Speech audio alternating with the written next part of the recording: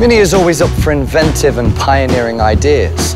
One of the best ways to use this expertise is to create more sustainable driving solutions, like the Mini Countryman plug-in hybrid.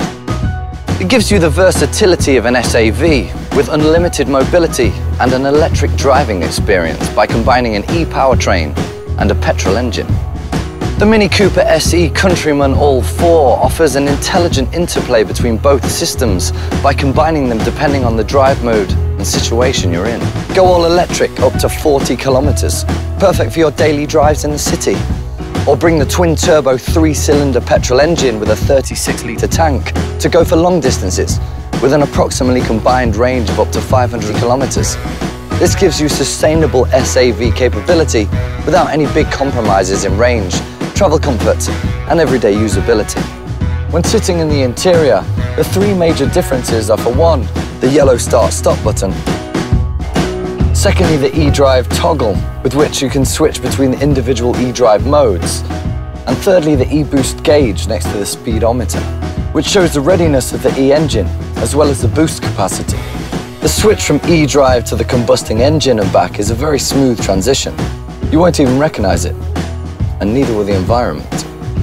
The first of the three driving modes is the Auto eDrive mode.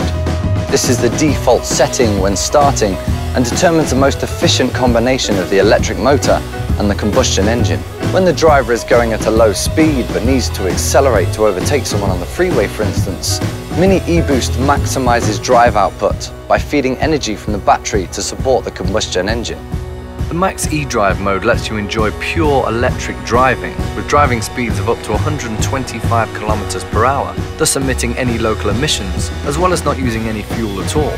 Perfect for noiseless driving in residential areas. Since good relationships are all about giving and taking, the battery doesn't just power the engine, the battery always gets power from the engine, as well as the brake energy regeneration.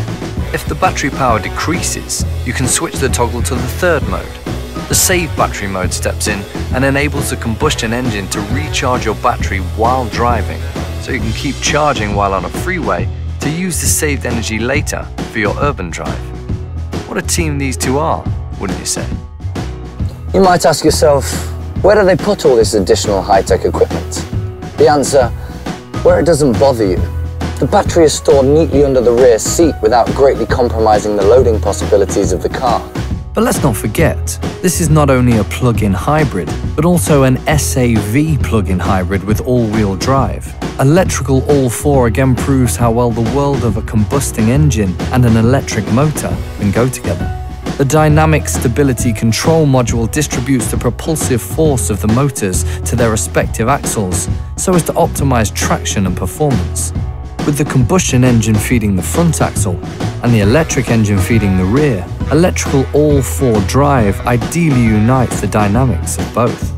This hybrid is up for any adventure, and it's always ready for the next within a very short time. You just plug the cable into the car and connect it to any power outlet.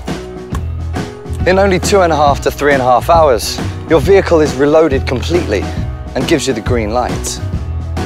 So get out there again with a clear conscience and true mini go-kart feeling.